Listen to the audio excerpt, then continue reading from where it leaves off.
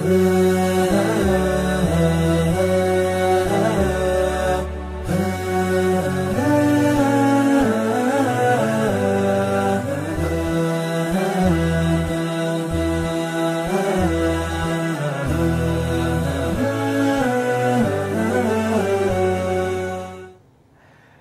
alaikum wa rahmatullahi wa barakatuh. Welcome to Ahkam SOS, the show that brings you the Ahkam to do with Ramadan this season. And I hope you're having a very, very special, pious, full of taqwa and full of tawfiq Ramadan, inshallah. My name is Mohsin Shah, and joining me as always is Sheikh Ali Ma'ash. Assalamu alaikum, Sheikhna. السلام عليكم ورحمة الله How's your fast going, Sheikh? الحمد لله رب العالمين MashaAllah. أعوذ بالله السميع العليم من الشيطان الرجيم بسم الله الرحمن الرحيم وصلى الله على محمد وآله الطيبين الطاهرين اللهم صل على محمد One of the invalidators of fasting and sawm is the use of enema injection. Now this type of injection is actually the fluid um, injected into the lower bowel by the way of rectum and it reaches the stomach in somehow. Uh, for those who have shortage of vitamins or iron and so forth. Now this type of injection uh, will invalidate the sawm and, and fasting.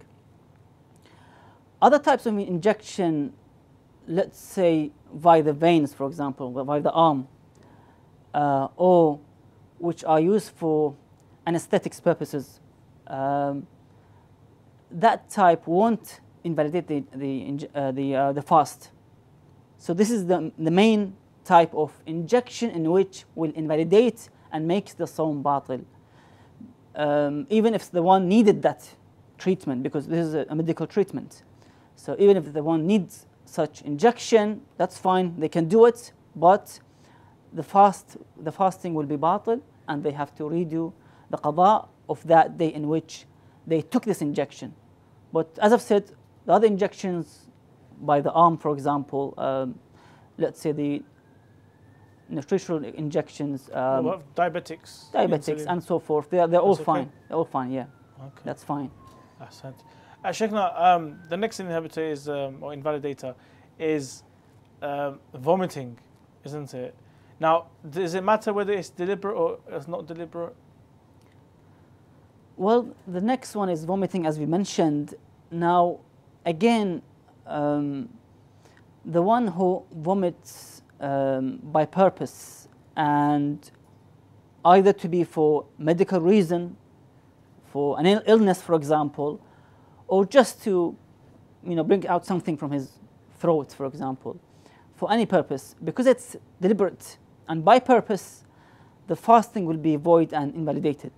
Uh, otherwise, if, if this vomiting took place unwillingly, unintentionally, then again, the rule is that uh, the fast will be valid and sahih.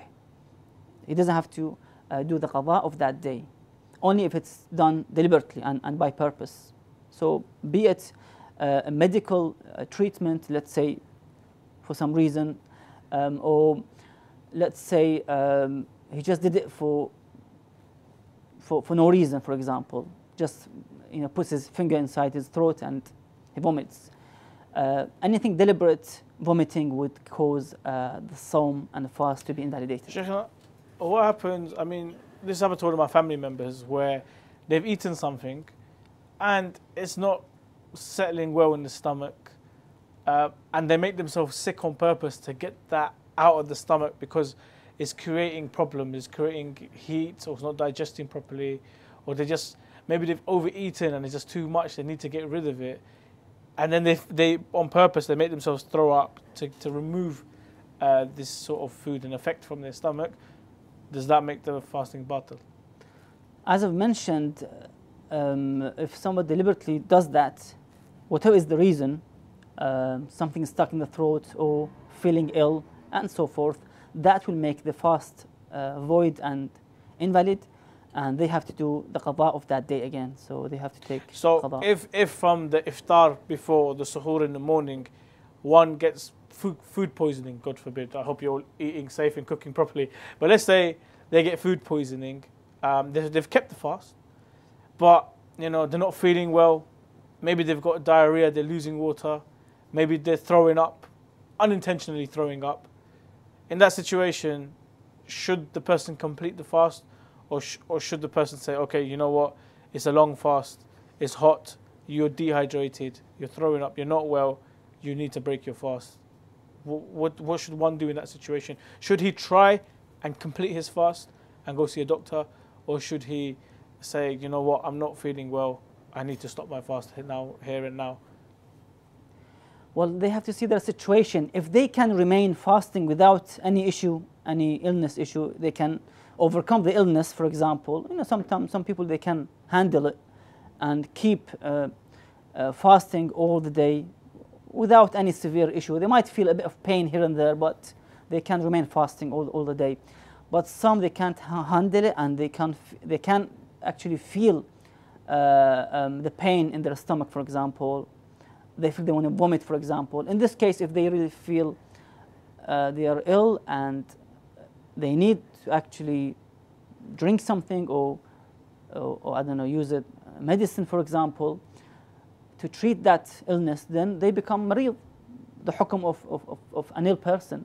So they can break their fast and then um, treat themselves, and then they can do the qada afterwards and pay one mud, as I've mentioned, one mud of 750 grams of wheat or barley or, or bread of that raisins. wheat or barley for uh, the poor person. And, and that's it. So, so that's the kafara. That's a fidya, as it's called. Fidya. Fidya So- for that day that they couldn't fast. What are the kafara? I mean, wh- when does it apply, and what are they to pay on the fast?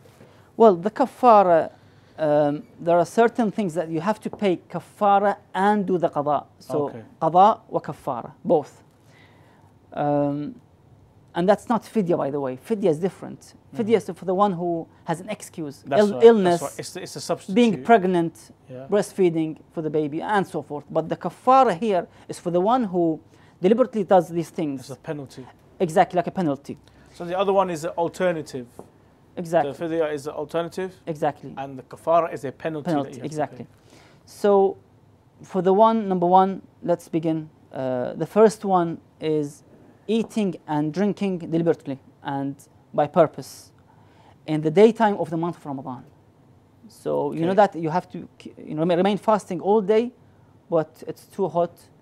You want to drink a cup of cold water for example or you're hungry you want to eat something. So breaking that fast in the daytime of, of month of Ramadan will makes uh, the fasting void and batil, and also you have to pay kafara. So that's the, the first type of of uh, of the rules in which you have to pay kafara and do the qada as well. Number two is um, the marital relation between the hus- husband and the wife, uh, the intercourse. If that took place, that, that physical Contact. inter- contact interaction took place, and they both become junub. Okay. In this case, and and that was in the time of the daytime of Ramadan. Yeah, and we also discussed it's not that even the act has to be completed. Exactly, Even just the initiation and the insertion, exactly. that is more than enough to make the uh, the fast batil. Batil, yes. And, and you have to pay. So they have to uh, uh, pay kafara each separately, Mhm. the, the husband separately and the wife separately, and they also have to do the qada of that day. So that's the second type. The third type is when the iftar or breaking the uh, breaking the uh, the fast with haram, eat or drink. Okay. So let's say somebody who breaks his fast with billah with alcohol or a pork meat, billah. So in this case, they have to uh, pay kafara as well as uh, do the qada of that day. So that's the, the third type. That's if they if they open their fast with something haram, as in it's now maghrib Exactly. time. So for example, for the one who breaks his fast with haram in the daytime of, of, the month of Ramadan, during the daytime. exactly, Okay. uh, such as um, adultery, the zina, God forbid, or drinking alcohol, wine, Mm. and uh, masturbation, Yes. and such like. These are haram way of breaking your fast. You know, we mentioned the intercourse between the husband and the wife. That's the halal uh, relationship, marital relationship. But Uh, and that also has its own kafara if it's done during the daytime of the, of the month of Yes. Ramadan. But if it if it's done in the haram way, then that also has the kafara and the um, kafara and also uh, the fasting of The of the qada. qada, qada. And the fourth one is when ascribing lies to Allah subhanahu wa ta'ala and His Prophet and His pure family, alayhim salam. Again, uh, this is according to the Sayyid as well, ihtiyat wujubi, that you must pay uh, kafara, also the qada of that day. So these are the main aspects of where you have to pay kafara and the qada together. So, Sheikhna, you were saying uh, they have to pay the kafara, uh, which is, you know, one mud, and also the fasting. Is that one day, 60 days, 30 days, the kafara? With regard to the kafara, now, uh, for, for the one who does not fast on that particular day, if somebody deliberately and by purpose breaks his fast in the daytime of the month of Ramadan, he must, he's obliged to uh, give the kafara um, the three stages of the kafara. Number one, either to free a slave. Now, in our time, we don't have any more slaves. And you can see how Islam encourages uh, to free the humanity from slavery. And that's what Ahlul Bayt Islam they did in their time. They bought the slaves and they freed them. They bought them, educated them, they become pious people, and they freed them. So Islam encourages for the free, the freedom of the humanity from all types of shackles and chains of this life.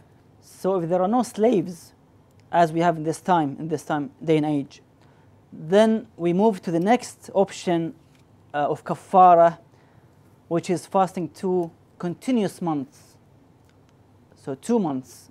And how you do it is that you fast 31 days continuously with no gaps. And then after the 31st day, when you fast, then you have the option of uh, leaving gaps between each day. So let's say after the 31 days, you fasted continuously.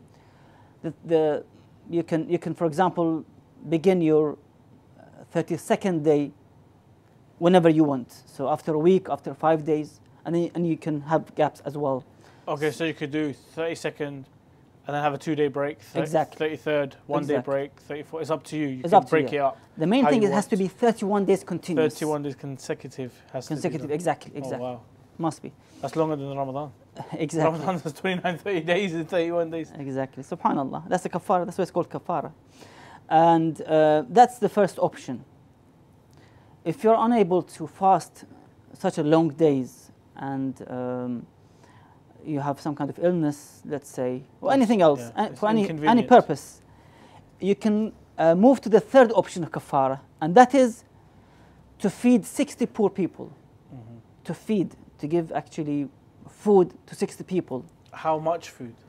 Are we looking at a, a day's worth or one meal or No, uh, again, as, a, meal, as, meal? as, as, as it was mentioned, to give one mode of meal Mode. to each. which is- 750 grams? You said? exactly. Less Wheat, than a kilo. You give them wheat, barley, flour, or, or, or the bread, dates, Dates, raisins. Ahsan Sheikh, thank you. Um, in the you know in the opinion of Sayyid Sadiq Shirazi, may Allah prolong his life, what what is the ruling if someone can't free a slave, if someone can't afford to give uh, 60 people food?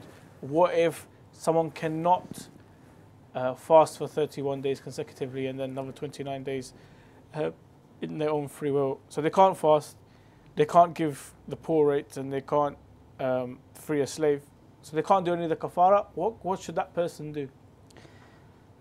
Well, the Sayyid gives three options here for such people who are unable to fast or to give uh, food to the poor. He said if they can fast 18 consecutive days instead of two months, then that's fine. But if they can't, they are ill, diabetic, and so forth, whatever is their situation, severe illness, for example, they can actually feed whatever number of poor they can less than 60, let's say. It doesn't matter. 50, 40, whatever they can. As much as they can, they can afford to pay, that's fine. If not, if they were masakin, you know, they had absolutely no money uh, to even feed their family, such a poor family or individuals. In this case, they can just say astaghfirullah once, seeking Allah's repentance and forgiveness. That should do the uh, instead of the of the kafara, That should suffice. and Allah will inshallah accept their deed and forgive them. Inshallah. Thank you very much, Shaykhna. And shall we do, we do dua for all the viewers that, inshallah, they never have to pay any kafara. Inshallah. Inshallah, that Inshallah. Ramadan is, is a time where they can focus on Allah subhanahu wa ta'ala and fulfill their duties inshaallah inshallah and there's no need for any kafara or qada inshaAllah. Thank you for joining us once again on Ahkam SOS. Inshallah we'll see you soon. Assalamu alaikum wa rahmatullah wa barakatuh.